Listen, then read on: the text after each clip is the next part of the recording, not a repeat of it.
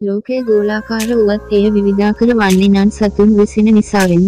ඉතින් යාළුවනේ අද අපි කතා කරන්නේ පණුවන්. විශේෂයක් ගැනයි. පණුවන් කියව් සැනින් අපිට හැගෙන්නේ ඔවුන් බොහෝ අහිංසක සත්ව ආකාරයි විදියටයි. නමුත් මේ ලෝකයේ සිටින ඇතැම් පණු විශේෂ මිනිස්සු වන අපිටත් හානිකර බලපෑම් ඇති කිරීමට සමයි. එහෙයින් ඔවුන් හා ස්පර්ශවීමත් අධි අවදානමක්. උදාහරණයක් විදියට අද අපි කතා කරන සාගර පත්ලේ ජීවත් වන රිබන් වෝ නම් ලද පණු විශේෂය ගන්න පුළුවන්. මෝන් ඉතාම භයංකර පණු ආකාරයක්. මන්ද කිව්වොත් මුන් දඩයම් කරනුවේ සිරුරේ ඇති අමුතු සුදු පැහැති කොටසක් ආධාර කරගනිමින්.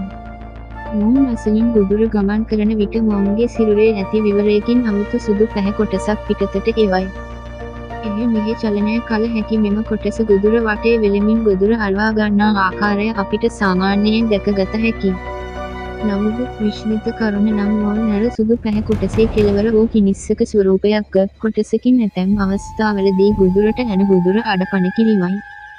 මෙවිට සතාට ඇතිවන කයික වේදනාවට අමතරව විෂත් ඇතුල් විය හැකි බව වාර්තා වෙනවා.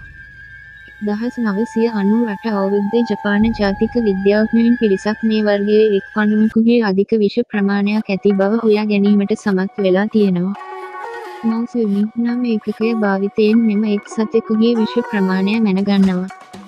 ඉතින් පුදුමේ නම් මවසුමිට එකක් කියලා කියන්නේ ග්‍රෑම් විස්සක් බර මියෙකු විනාඩි පහළවකින් ඇතුළත අවසන් ගමන් ඇවීමට සමත් විෂ ග්‍රෑම් ප්‍රමාණයවි. නවතම පරීක්ෂණ වලට අනුව නිගමනය වූයේ මෙම පණුවකගේ මවසනිට් හයදාහක පමණටි.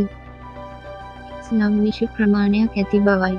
මෙම විෂ ප්‍රමාණය මනුස්්‍යයන් වන අපිටත් විනාශය රැගෙන ඒමට සමත් නිසාවින් තමයි මේ පණුවන්ට කවමදාවත් අපිව ලෙව කෑමට ඉඩහසරවෙන් නොකළ යුතුයේ ඔබට පැහැදිලි ඇතයි මා හැගේ.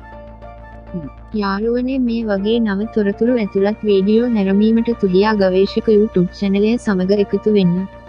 ඔයාට සුබ දවසක්.